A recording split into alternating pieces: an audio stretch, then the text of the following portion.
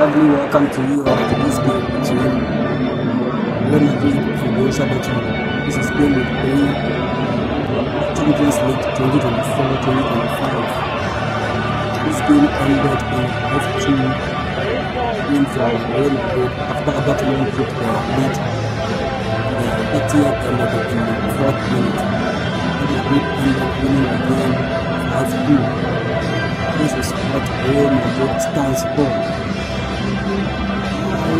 I am great. Enjoy this game.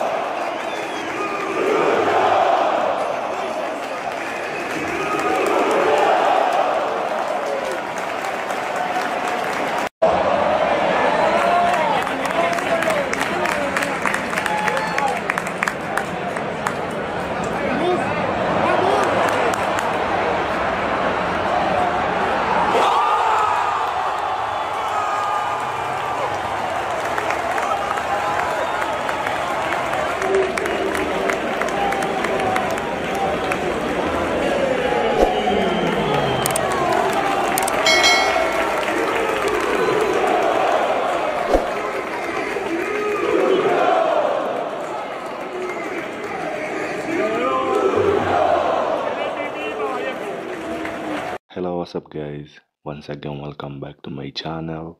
And that is extended highlights between Real Madrid against Borussia Dortmund in Champions League group stage at the Stadio Santiago Bernabeu. Real Madrid beating Borussia Dortmund 5-2 with unbelievable comeback in the second half. Vinicius Jr. became the hero of Real Madrid after scoring hat-trick in the second half. So please like and subscribe. Enjoy it.